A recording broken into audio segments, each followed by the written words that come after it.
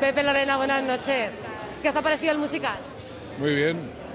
Hay que ver ese musical y comprar el disco. ¿Tienes el disco ahí, no, Lorena? Sobre todo, Pilar Jurado. Fantástico.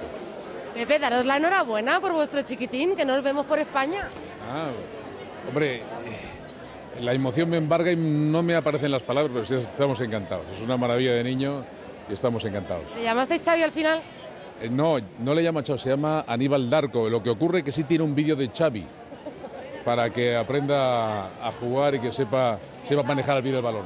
Oye, qué genes más estupendos que tiene tu mujer. ¿Cómo lo haces para estar tan recuperadísima? Pues nada, ser muy feliz y eso es todo. Qué navidades más especiales las de este año, ¿verdad? ¿Perdón? Qué navidades más especiales las de este año.